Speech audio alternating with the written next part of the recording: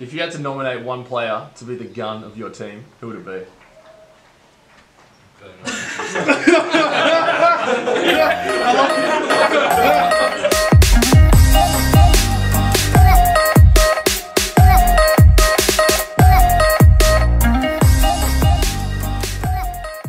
Welcome to Hornets TV. I'm Faz and I'll be your host. Our local comp is wrapping up for winter and we've got two teams here in the top four of our C grade men's competition.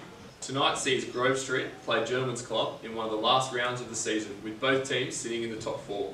So boys, who's got the edge tonight? Grove Street. Yeah. Probably.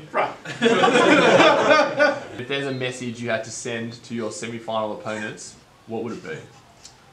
Uh, I just learned how to do under the legs. So Yes, look yeah. out for that. So, Brent on the post, I think. Brent on the Post, post. yeah, Yeah, he's been working. And who do you think's going to win the competition? Grove, Grove. Oh, I Yeah, Grove. we certainly know. we certainly know who's going to look the best. Then. That's right.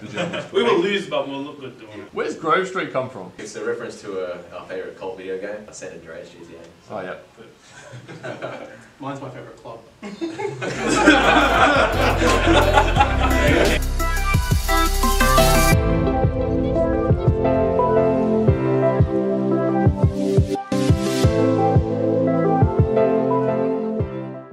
You mess with a hornet, you get stung. that is the worst. That is the worst. That is the worst thing ever. Please, if you have a soul, come in.